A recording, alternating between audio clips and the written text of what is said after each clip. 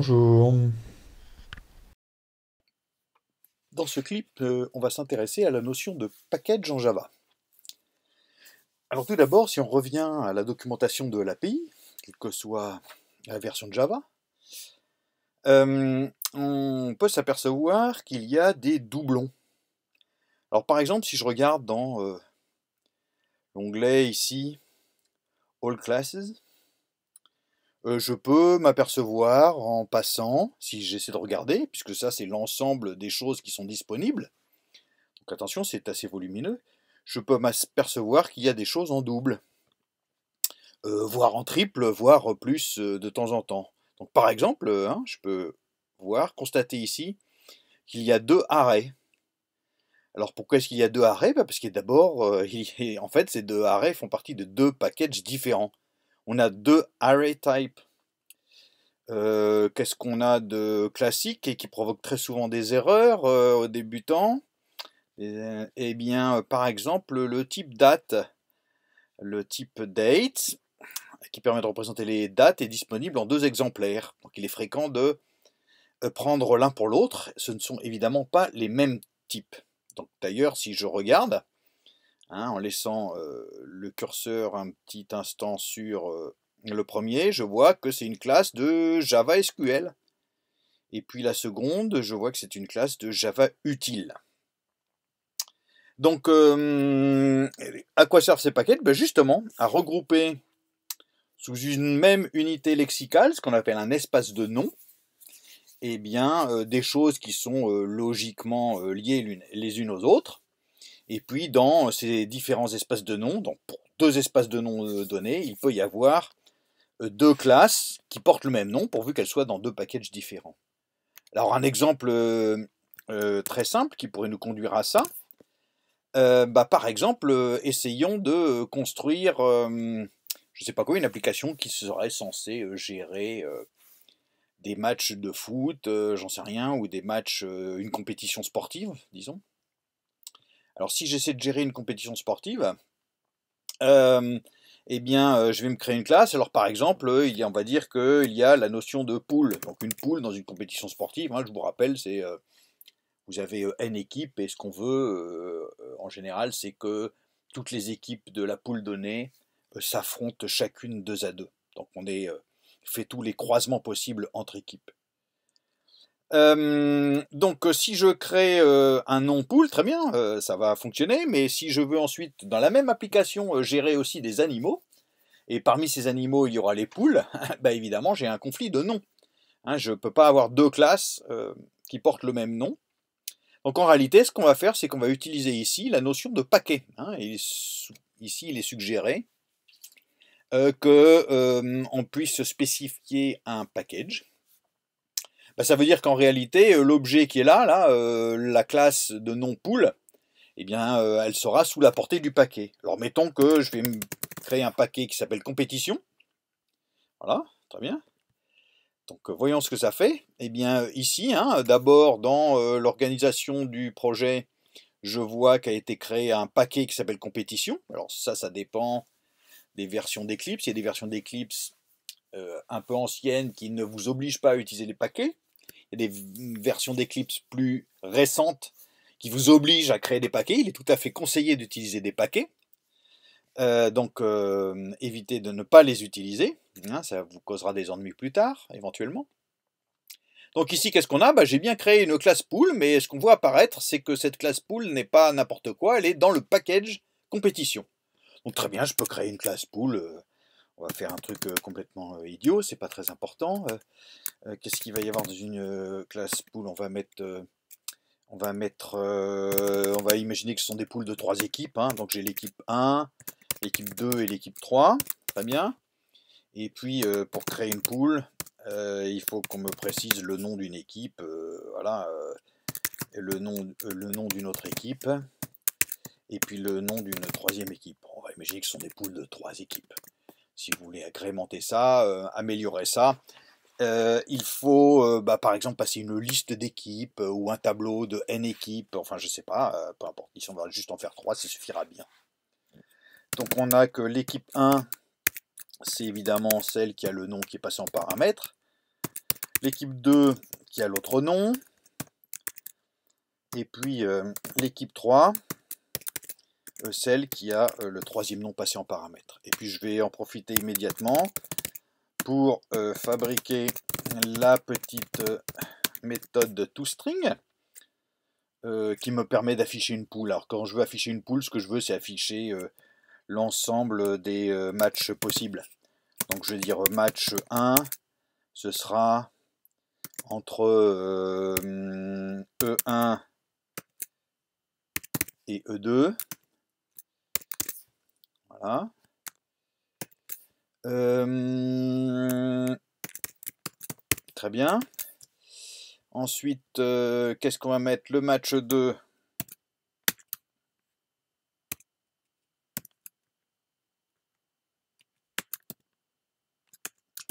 Et le match 3. Donc le match 2, ce sera entre E1 et E3. Et puis le match 3, entre E2 et E3. Ah, on a fait toutes les variantes possibles. Voilà, très bien. Je vais peut-être mettre euh, ça comme ça. Voilà, très bien. Ça suffira bien comme ça. Voilà. D'accord? Donc on va tester ça quand même. Hein. Toujours euh, euh, s'employer à tester immédiatement son code.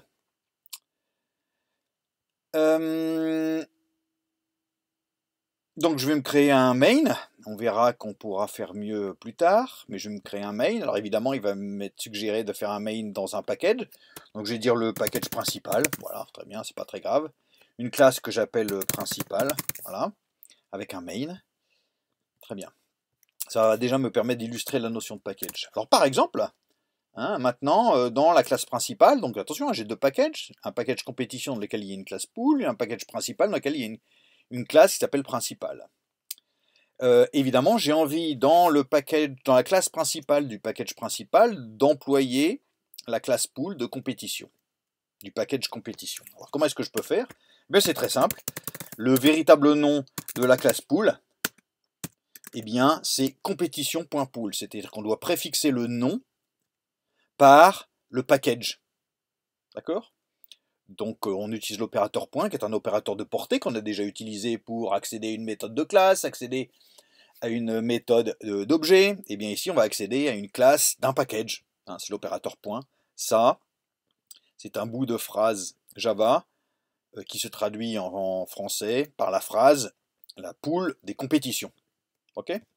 Alors bien sûr, je peux créer une poule de compétition. Euh, et puis je vais donner des noms, euh, je vais appeler ça, je sais pas quoi. Euh, si vous êtes fan de foot, eh ben, on va mettre des équipes de foot. Donc le PSG, l'OM, et puis je sais pas quoi, l'Olympique lyonnais. Voilà, on remplacerait ça par ce qui vous plaît. Et puis bien entendu, hein, je peux afficher cette poule P, ça devrait me donner le résultat auquel je m'attends, c'est-à-dire PSG-OM, PSG-OL, OM-OL, ou quelque chose comme ça. Très bien. Essayons. Vérifions. Très bien. Match 1, PSG-OM, match 2, PSG-OL, et match 3, euh, OM-OL, et puis on fait comme on veut. Voilà, hein, on n'a plus qu'à agrémenter. Alors on voit euh, un premier problème, hein, c'est qu'évidemment le nom de pool est un peu lourd, puisque son véritable nom c'est compétition.pool, et puis on peut imaginer bien sûr que les packages sont nommés de façon plus plus verbeuse encore, et qu'il y a un nombre d'étages importants, les compétitions de foot. Donc il y a les poules de compétition de foot, il y a les poules de compétition de hockey, les poules de compétition de bridge, etc. Donc on pourrait avoir des packages des sous-packages, etc. Donc la première question, c'est c'est un peu lourdingue d'utiliser compétition.pool, bien que le véritable nom de la classe, hein, j'insiste bien là-dessus, c'est bien compétition.pool. Donc comment est-ce qu'on fait en Java pour résoudre ce problème? Eh bien c'est à ça que sert import. C'est-à-dire si j'écris import compétition.pool, alors le compilateur, quand il voit le nom pool, hein, quand il voit pool ici, quand je l'écris comme ça, eh bien qu'est-ce qu'il fait? Il dit ah bah ok, cherchons d'abord si dans le package principal existe une classe pool. Il n'y en a pas, donc il va regarder dans les packages pour lesquels on a fait un import. Et bien sûr, j'ai fait un import de pool de compétition, et comme il n'y a aucune autre ambiguïté, il n'existe pas d'autres classes pool, bah bien sûr, hein, le compilateur est tout à fait content, il traduit ça immédiatement par compétition.pool puisque j'ai fait un import et encore une fois, il n'y a pas d'ambiguïté. Donc ça marche toujours aussi bien. Donc voilà à quoi sert déjà l'import. Alors maintenant, euh, bien sûr, on peut créer d'autres classes. Donc j'ai envie de créer une autre classe qui s'appelle pool. Hein, évidemment, euh, bah, dans quel package? Bah, Ici, par exemple, ce sera dans le package animaux, puisque je veux représenter les euh, animaux. Donc je vais l'appeler animal. Voilà, animal. Voilà, donc euh, poule, bon bah, on va lui donner un nom à cette poule. Il est possible de nommer ces animaux. Si on les considère comme des animaux de compagnie, il n'y a pas de souci. Et pourquoi ne pas considérer les poules comme des animaux de compagnie? Alors voilà, voici, pardon. Et puis euh, this.nom égale n, très bien. Et puis euh, on va surcharger la méthode toString pour pouvoir avoir un affichage euh, sympathique pour les poules. Donc qu'est-ce que je vais afficher ici? Bah, C'est très simple, je suis la poule qui s'appelle et puis voilà donne son nom. Très bien. Sachant que bien sûr, il faudrait passer par des getters, donc le mieux, normalement, ce serait quand même d'utiliser quelque chose comme ça. On va être un peu plus pédant. Très bien. Et donc ici, on devrait plutôt utiliser le getter, si on le souhaite. Très bien. Euh, donc maintenant, évidemment, euh, j'ai euh, deux classes pool. Hein, J'en ai une dans animal et une dans principal. Donc le problème, c'est que évidemment dans principal, je peux avoir envie de parler des deux. Donc si jamais je m'amuse à faire un import de animal.pool, eh bien, ok, très bien, jusque là, il n'y a pas de souci. Euh, ça devrait fonctionner. Alors peut-être que j'ai pas sauvé. Ok. Alors on va essayer, euh, avant de faire l'import, on va déjà essayer d'utiliser cette classe-là. Animal.pool, très bien. Euh, mettre ici. Donc je peux créer un animal euh, pool. New animal.pool avec le nom comment est-ce qu'on va l'appeler euh, cocotte. Très bien. Et puis je peux avoir envie d'afficher cette poule là.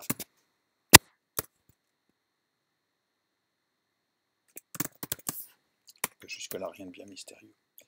Donc évidemment ici il n'y a pas d'ambiguïté. Pool sans qualificatif d'import, de, eh bien ça fait référence à compétition.pool.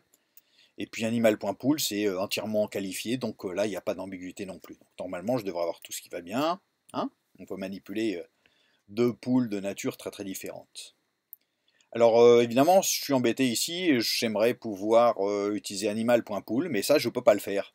Parce que si je tente, si je tente d'importer animal.pool, eh bien, le compilateur va râler. Hein, c'est ce qu'il me disait tout de suite, c'est que évidemment, je ne peux pas faire ça puisqu'il y a une collision avec déjà le même import. Hein. En fait, si je fais ça, il y aurait une ambiguïté entre compétition.pool et animal.pool.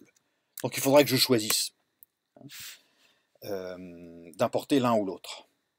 Alors, euh, il y a d'autres types d'imports qui sont possibles. Hein, vous voyez que si j'importe, si j'ai plusieurs classes dans un même package, je peux avoir besoin d'importer l'ensemble des classes qui sont dans le package. Alors bien sûr, je peux le faire individuellement. Je peux faire import compétition.pool, import compétition.match, import compétition.équipe, s'il existait les classes euh, pool, équipe, match, etc. dans le package compétition. Euh, ou alors, on a un autre raccourci possible qui est import compétition étoile, qu'on ne recommande pas trop, mais qui est hum, parfois utilisé. Ça, ça veut dire importer toutes les classes du package compétition. Et bien sûr, on peut aussi faire import euh, animal. Alors vous allez voir pourquoi c'est pas conseillé. Je peux essayer d'importer l'ensemble des classes du package animal. Et voilà le problème, c'est qu'évidemment, cette fois, l'ambiguïté est ici. Parce que le compilateur me dit, mais attendez, vous êtes euh, gentil, mais quand vous parlez de pool, vous parlez de compétition pool ou de animal.pool Donc voilà, il faut euh, éviter d'importer hum, trop aisément les packages avec le, caractère Joker étoile. Et puis ensuite, il faut choisir si vous souhaitez d'utiliser ou pas systématiquement le l'import. de toute façon, pour lever l'ambiguïté, il suffit simplement de les nommer explicitement. Et puis, il n'y a plus aucun problème ici, même si l'import, du coup, ne sert à rien ici, en tout cas pour, pour Pool elle-même. Alors, l'autre chose qui est à noter, qui est importante à savoir aussi, c'est que en fait, il existe déjà un import qui est fait par défaut. c'est l'import du package Java Lang. Donc Java Lang, c'est un package qui est automatiquement importé par Java. Vous n'avez pas besoin de l'importer c'est fait systématiquement. C'est pour ça qu'on utilise la classe string en disant string, mais le véritable nom de string, son véritable nom, euh, c'est Java long string.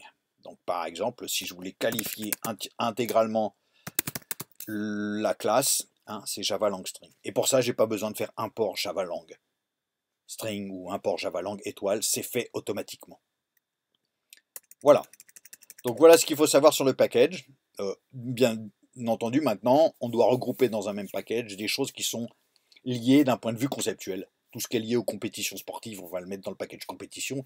Tout ce qui est lié euh, à la description des animaux, eh bien, dans euh, un package pour les animaux, euh, etc. D'où l'existence de ces nombreux packages en Java. Donc si je regarde, bah oui, il y a le package Javalang qui contient toutes les choses de base de Java. Hein, donc on connaît la classe string, peut-être déjà la classe système, qui nous permet de faire un système out, println et des choses comme ça. Euh, et puis, euh, bah, il y en a d'autres. Hein, si vous voulez gérer les questions de temps dans Java, bah, il y a un package spécial en Java 8 qui est Java Time. Java Util, c'est un autre package qui est très fréquent d'emploi parce que lui contient bah, toutes les collections, hein, les dictionnaires, les listes, etc. Donc on a rangé là-dedans toutes les collections dans le package Java euh, utile. Et puis, euh, on a rangé dans d'autres packages d'autres choses, les entrées-sorties, comme on le verra plus tard, euh, etc. si on veut faire du réseau, c'est dans Java Net. Si on veut faire des calculs mathématiques, dans Java Math, etc. Et puis il y en a d'autres, j'en passe, et des meilleurs.